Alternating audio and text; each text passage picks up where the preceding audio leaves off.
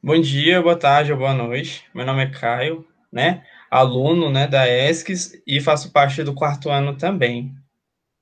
Eu sou Isabela Lencar, sou aluna de enfermagem da ESCS no quarto ano. Nós tivemos Karine Cardoso como nossa orientadora e a Sheila Borges como a nossa colaboradora. Nosso trabalho foi o perfil clínico epidemiológico de indivíduos com peritonite submetidos a diálise peritoneal em um hospital público do Distrito Federal. A doença renal crônica é um termo geral para alterações heterogêneas que vão prejudicar a estrutura e a função renal do indivíduo. A doença renal crônica terminal necessita de tratamento como hemodiálise, diálise peritoneal e um transplante renal. A diálise peritoneal destaca pela facilidade e acessibilidade, proporcionando maior comodidade ao paciente. A DP corresponde ao manejo da filtragem por uma bomba natural que vai substituir a função renal deste paciente.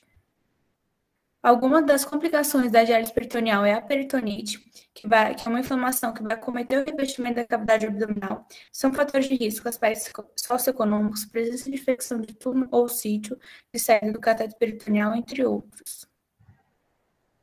São sinais de peritonite, alteração na cor e aspecto do líquido drenado, febre, dor abdominal, diminuição do apetite, entre outros.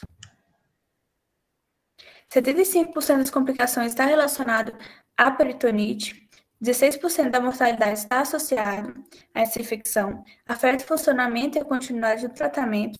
Episódios severos de peritonite podem levar à lesão da membrana peritoneal, favorecendo para uma falência da diálise peritoneal. Nós tivemos como objetivo analisar o perfil clínico epidemiológico de indivíduos acometidos por peritonite relacionada à diálise peritoneal em hospital público do Distrito Federal. Nós tivemos um estudo transversal retrospectivo Critérios de inclusão foram portadores de RC com peritonite no período de janeiro de 2019 a junho de 2021, ambos os sexos, idade maior que 18 anos.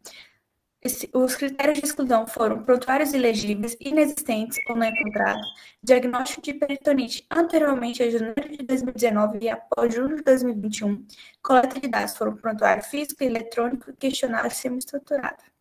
Além disso, utilizou-se o software o software, o software, né, Statistical Package for Social Science, né, para a própria análise de dados.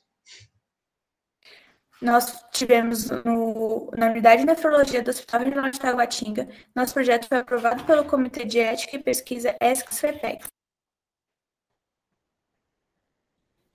Nós tivemos uma amostra de 24 pacientes, sexo masculino, idade de 60 anos ou mais, raça branca, ensino médio completo e renda familiar entre um a dois salários mínimos.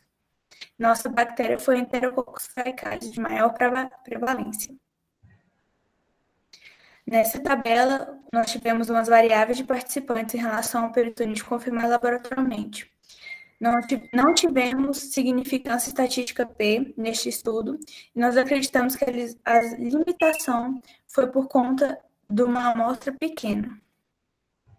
Em questão aos gráficos, né, o, o próprio né, destino de, desses pacientes, em sua, em sua grande maioria, seguiu-se pelo próprio né, tratamento, prosseguida pela própria, pela própria né, hemodiálise e seguida pelo óbito. Em questão à doença de base, a gente, a gente, a, a gente conseguiu ver que a maioria dos pacientes tinham né, pressão alta e, e também tinham pressão alta juntamente com a própria é, diabetes, né? Em questão ao tempo de tempo, o, o tempo de uso da própria né, diálise, geralmente esses pacientes que tinham essas próprias infecções eram né, é, maiores né, que um ano e menores que cinco. Nós tivemos uma prevalência de culturas positivas, perfil das bactérias foram gram positivos para a peritonite. A maioria dos pacientes utilizam a técnica de treinamento. Relato dos indivíduos teve uma boa aceitação à terapia. Sugere-se o retreinamento dos indivíduos que apresentarem peritonite. Contribuição para a qualidade do serviço de DP do HRT.